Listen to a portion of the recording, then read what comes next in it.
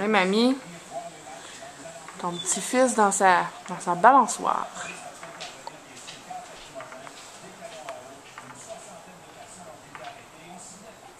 Ça bouge pas mal, hein? c'est flou.